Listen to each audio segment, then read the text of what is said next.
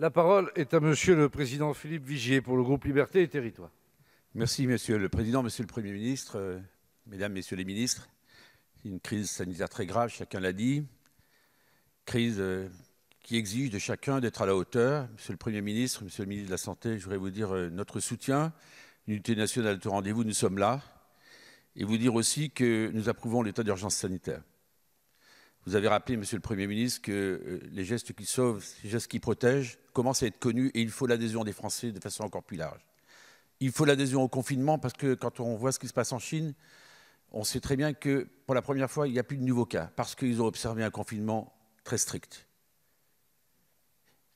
Il faut aussi que ce confinement soit accompagné psychologiquement parce qu'on sait qu'il génère de l'anxiété, qu'il génère euh, souvent des scènes de panique, qu'on a pu voir avec des famines. Et là, il y a les médias, me semble-t-il, qui peuvent être d'un soutien considérable pour accompagner ce confinement.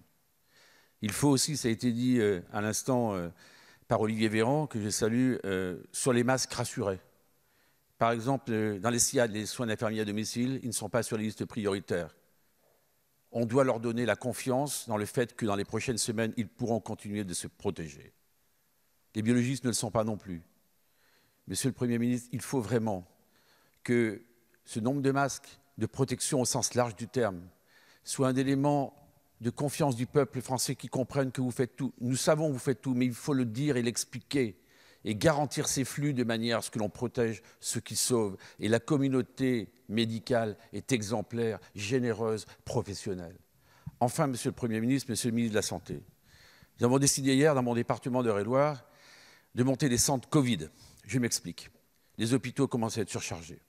Avec le soutien des maires, nous allons ouvrir des salles municipales ou avec du personnel médical, avec des infirmières. Nous allons accueillir les patients pour faire, entre guillemets, du triage des patients, prendre en charge ceux qui nécessitent une prise en charge d'extrême urgence et faire en sorte que ceux qui ne sont pas atteints de symptômes, on puisse naturellement les suivre à distance. Il faut soutenir cette initiative parce que le pic est devant nous. Je vous remercie. Merci, Monsieur le Président. La parole est à Monsieur le Premier ministre. Monsieur le Président, Mesdames et Messieurs les députés, Monsieur le Président Vigier, euh, le ministre des Solidarités et de la Santé, pendant que vous posiez votre question, m'a fait passer un petit mot euh, pour me confirmer que les services d'aide et de soins à domicile étaient euh, dans les listes qui étaient prévues pour être destinataires des masques. Ça répond à la question. Je pense que nous aurons probablement des questionnements sur est-ce que le nombre de masques qui leur est affecté est suffisant. Je peux parfaitement peux parfaitement l'entendre, mais je tenais à répondre par l'intermédiaire du ministre des Solidarités et de la Santé, que je remercie, à votre question. Euh, plusieurs, choses. Euh, vous l'avez dit, et je pense qu'il faudra toujours le redire, euh, avant même le masque, et, je ne parle, pardon, je ne parle pas ni des soignants, ni des infirmiers, ni, de l'ensemble de la communauté, dont, j'ai dit tout à l'heure à Madame la Présidente Rabot qu'ils étaient ceux pour qui les masques étaient destinés. Mais lorsque on parle de la population générale, la meilleure façon de lutter contre la circulation du virus, c'est au fond de respecter les consignes qui ont été données. Le confinement, qui n'est pas un couvre-feu, mais qui est un confinement strict, qui consiste à faire en sorte qu'on ne sorte pas de chez soi, qu'on limite au maximum les contacts et qu'on ne puisse se déplacer que pour aller faire ses courses, que pour aller travailler lorsque l'on peut travailler, euh, pour euh, aller se soigner. Bref, les cinq cas que les Français commencent à connaître qui permettent de sortir euh, de chez eux. Respecter strictement le confinement. Respecter strictement les gestes barrières. La meilleure façon d'aider les soignants, pour nous tous qui ne sommes pas soignants, c'est de leur permettre d'absorber le choc de la meilleure des façons en limitant la circulation du virus. Aujourd'hui, lorsqu'on aime quelqu'un, il faut éviter euh, d'aller le serrer dans ses bras. Mais c'est contre-intuitif. Hein.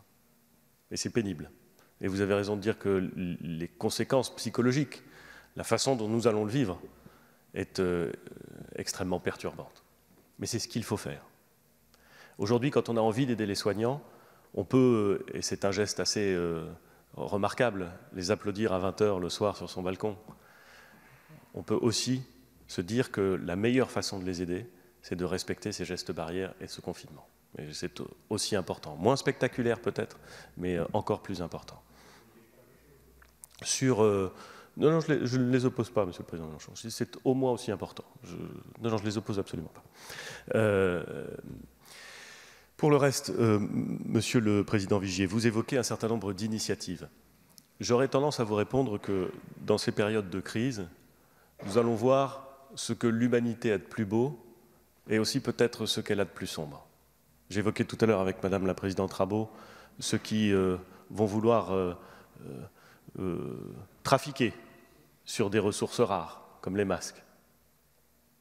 C'est évidemment ce qu'il y a de plus sombre, et il y a peut-être encore plus sombre dans l'âme humaine, mais nous allons voir aussi des initiatives absolument admirables de solidarité, d'intelligence, d'engagement. Et il faut que ces initiatives puissent prospérer. Il faut faire attention à ce que cette générosité, cette solidarité, cette élévation de l'âme soit efficace, en tout cas ne soit pas contre-productive.